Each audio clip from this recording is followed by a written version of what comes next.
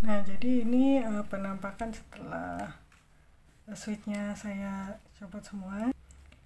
Ini uh, switchnya sudah berbeda-beda karena ada beberapa komponen yang saya ganti. Kemudahan untuk uh, membongkar pasang bagian keycap dan switch ini yang inilah yang membuat mechanical keyboard itu jauh lebih mudah untuk dirawat dan juga dilakukan penggantian bila terjadi kerusakan. Nah ini switch semua switchnya sudah dicopot ya uh, bagian plate dan ini bagian PCB-nya. Uh, salah satu alat lagi kita harus punya obeng kecil untuk uh, mencabut mur yang ada di plate-nya ini. Oke semua murnya sudah dilepas ya. Dan ini kita harus mencopot bagian kabel baterainya. Karena ini itu dengan baterai. Cabut dulu. Oke sampai sini berarti uh, kita sudah me mencabut semua bagian keycapnya dan juga bagian switchnya. Jadi sudah kita bersihkan semua untuk bagian dalamnya juga. Kemudian teman-teman uh, bisa mencoba untuk membuka stabilizernya untuk dilakukan lubing untuk uh, mencabut bagian stabilizernya di sini kayak ada bagian pengunci atau pengait di sini tinggal ditekan saja. Yang di sebelah juga sama. Kemudian tinggal kita tarik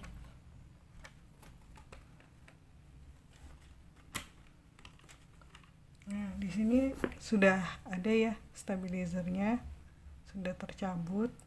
Untuk mengambil bagian uh, besinya ini kita tinggal tarik ke samping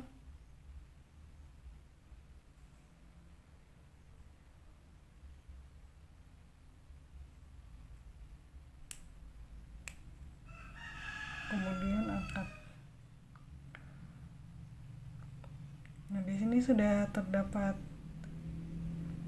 uh, bagian stemnya, stem dari stabilizernya ada dua. Nanti kita akan lakukan lubing untuk bagian stemnya menggunakan Krytox. Kemudian untuk bagian uh, bagian mesinnya ini, bagian stepnya ini kita gunakan Permatex kita akan melakukan lubing untuk uh, bagian stemnya dulu ya. Nah untuk bagian stemnya ini bisa kita lepas. Lalu bisa kita lubing menggunakan Krytox buka dulu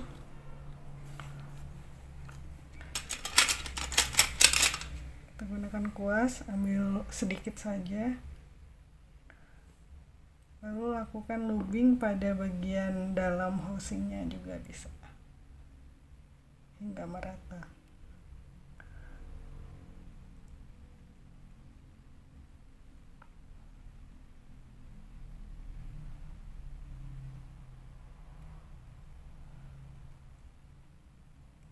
Oke, jika sudah, kita bisa lakukan lubing untuk bagian stemnya stem dari stemnya.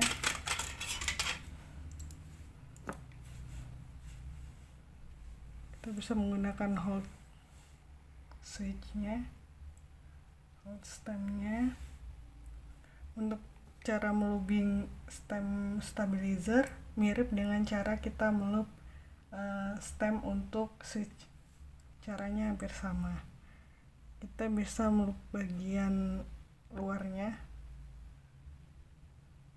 Samping kanan kiri.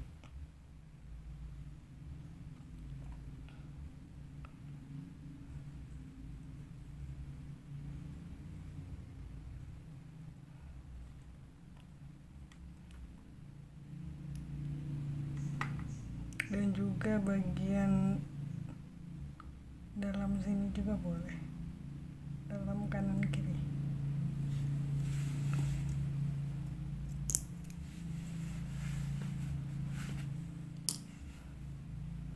kita lakukan lagi pada step yang satunya lagi.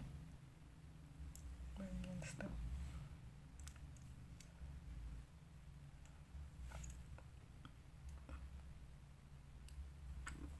Lakukan dengan cara yang sama. Kanan kiri bagian dalam dalam kanan kiri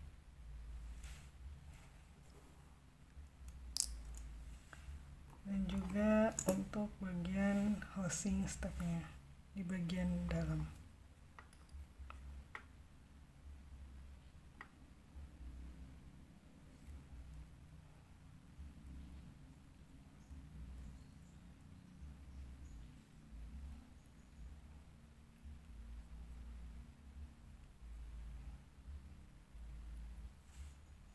Jika sudah kita bisa lanjut ke bagian bagian besi di stabilizernya.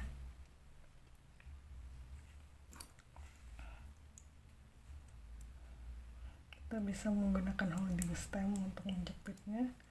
Untuk uh, keyboard series yang saya pakai itu sudah preloop namun untuk bagian stepnya sendiri preloopnya masih agak berantakan jadi bisa kita lubing ulang bagian stepnya menggunakan permatex.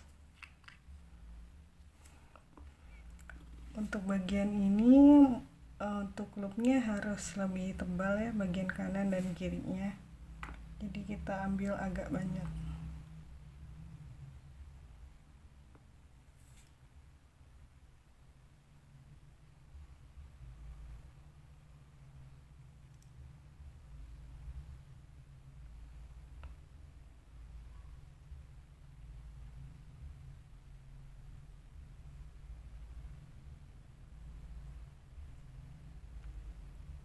rapikan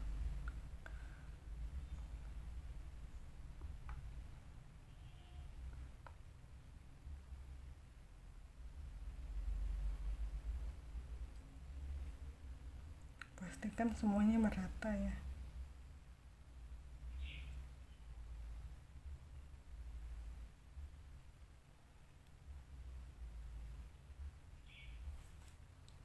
Nah, jika sudah bisa kita pasang lagi ke bagian stemnya tadi.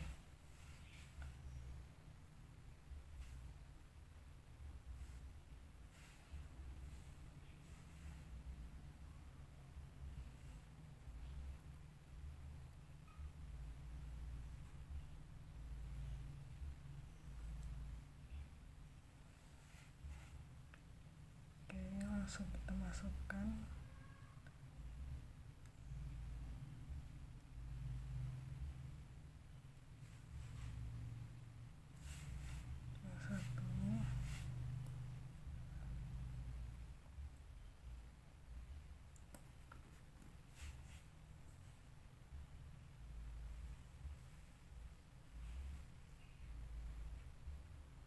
kemudian kita uh, miringkan kembali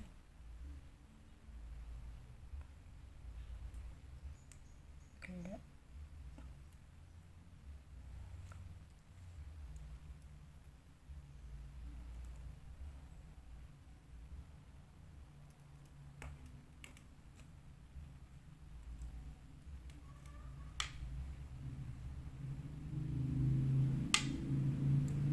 jika sudah bisa kita pasang lagi di bagian keyboardnya. Caranya dengan um, memasukkan ke bagian dalam ke bagian besinya ini. Kemudian diklik hingga berbunyi klik. Kita tekan hingga berbunyi nah sampai sini kita sudah berhasil uh, melakukan lubing untuk stemnya.